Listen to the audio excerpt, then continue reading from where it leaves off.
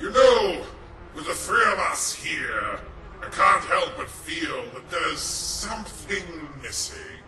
You mean the skull-obsessed red fellow that would finish off our little quartet? Yeah, well, I mean, I did actually vox him and ask if he wanted to be here, but all I got in responses were angry grunts.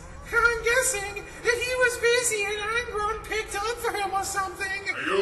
Sure you didn't mix up his contact details with Sly Marbo's again? Nope,